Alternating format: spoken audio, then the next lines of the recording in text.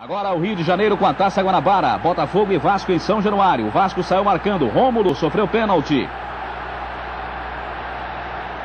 Giovani bateu e marcou, apesar da trave. Repare só. 1 a 0.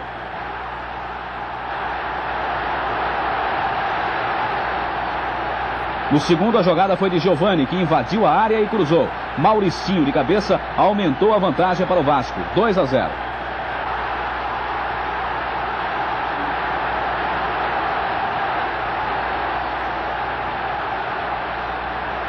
O terceiro foi uma jogada de todo o ataque. Mauricinho foi até a linha de fundo e cruzou. O Mário entrou e marcou de cabeça. Final, Vasco 3, Botafogo 0.